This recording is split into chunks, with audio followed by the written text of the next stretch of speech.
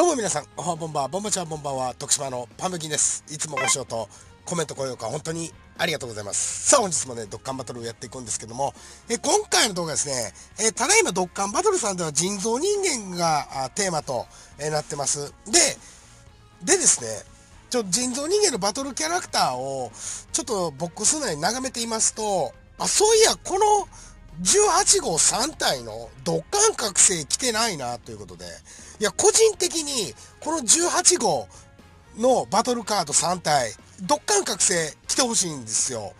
っていうのがタイプだから。うん。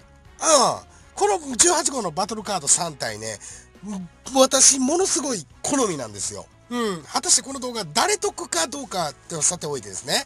うん。まあみんなと一緒に、まあ、見ていこうかなという動画となってますので、ぜひね、最後までご視聴の方よろしくお願いいたします。というところで、えー、その18号3体の、えー、バトルカードがこちらです。はい。このバトルカード、この18号のバトルカード、俺個人的にめっちゃ好きなんですよ。この絵と言いますか、このバトルカードの絵が。まず1体目。これね、2017年だったかな。のお正月にみんなに配布された、えっとね、振袖ね、振袖のね、人造人間18号なんですよ。これのドッカン覚醒をですね、2022年の元旦にぜひね、来てほしい。うん。で、使いたいんですけど、2時にはしてないんですよ。うん。っていうのは、パッシブがですね、もう興味使えないですね。まあ、補正してくれるんですけど、まあ、木玉1個取って気力とアタック8%アップしたところでどうやねんっていう感じなんで、今のところね。うん。これぜひね、えー、来年の元旦にですね、ドッカン覚醒来てほしいですね。ぜひ、なんかこう、またこの、今こ立ち絵がね、ちょっとまあフリスで聞いて、初詣、えー、行こうかなっていう感じの18号さんなんですけども、これまた絵面が変わったらね、見栄えが良くなるんじゃないこれ持ってる人少ないんじゃないんかな。うん。これぜひドッカン覚醒来てほしいですね。うん。で、こんな感じでお話していきますんでね。あの、いや、こいつ気持ち悪いなって思ったからぜひね、あの、ブラザーバックしていただいて。さあ、続きまして、これですよ。GT 編の人造人間18号。俺ね、あの、タイプが、ショートカットタイプなんですよ。ものすごいショートカットタイプで、これの、ドッカン覚醒来てほしいんですよね。これはね、2にさせていただいてます。これね、イベントドロップ3となってまして、あのー、パッシブですね、自身のディフェンス70%で攻撃を受けて3ターンの間、アタック70%アップなんですよ。まあ、使えないこともないと。ね。あの3ターンの間アタック伸びますから、アタックディフェンス70%アップなんですよ、3ターンの間は。まあ、3ターンの間で切りつけれる、お前バトルってどこやねんって言われると、まあそこまでなんですけど、まあ使えなくはないんで、あの、たまに、たまにごく稀に、えー、使ってます。で、パワーブリッツ。これが、長径の中もアタック30%アップしてくれるんで、まあ補正も、まあ、してくれると。これのね、ドッカン覚醒も来てほしいし、なおかつ、極限 Z 覚醒来て、スペシャルステッカー貼りたいなとか思ってる。うん。いいね。いや、これほんまに個人的にショートカット好きですし、18号さん綺麗でしょう。これのね、本当にドッカン覚醒を、マジで来てほしいですね。うん。でもね、もうちょっとパッシブ強くしたらですね、あの人造人間編成にも使えますから、もうちょっとこれ人造人間18号 GT 編の18号さん、もっとね、運営さん押していただきたいですね。うん。これが2体目ですね。ザ3体目ですよ。3体目がもうこれは、これのドッカン覚醒来てほしい。うん。あの、ちょっと噂になってんのかな。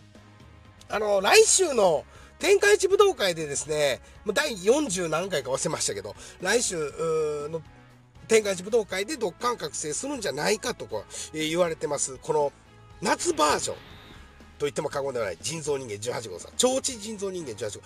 これがね、30何回の報酬だったかなちょっともう何回目かの、え天下一武道会の報酬だったかはちょっと忘れましたけども、これのドッカン覚醒来てほしいですね。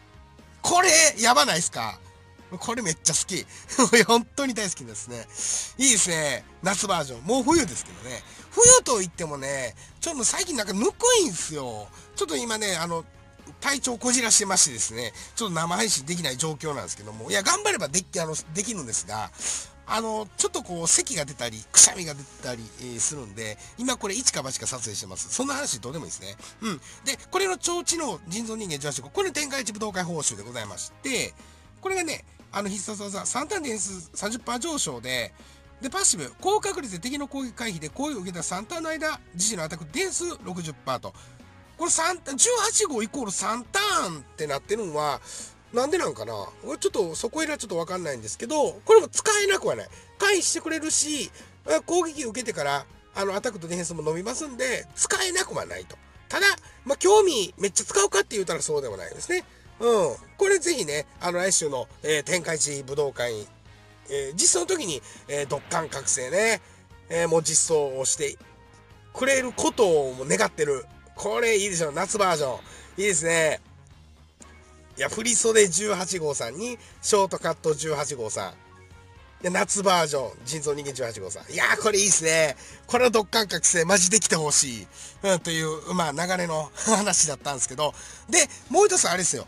あの、皆さんに、ちょっとね、あの、教えてほしいんですが、皆さんは、あの、どの18号さんのバトルカードが好きですか？ということで、ちょっとね、集めてみました。15体ですね。私、今、現段階で持ってる、えー、18号さんのバトルカードが15体でございまして、で、先ほど紹介しました、この振袖、夏バージョン、で、ショートカットバージョンの他に、あの、栗中18号さんね。はい。で、18号未来。で、えー、これも18号さんですね。どの、皆さんはどのね、バトルカードの絵面が好きですか？これ、あのね、僕ね、クリリアン人造人間18号。これ、ドッカン覚醒前の絵面がすごい好きなんですよ。これ、よくないですか？これめっちゃいい。これ、ちょ、もうほんまにあの、お母さんになった感じのこのジャージ、ジャージ18号は、萌えですね。ああ、萌え。ちょっとクリリンが邪魔だな、ということで、あの、技属性のですね、これ。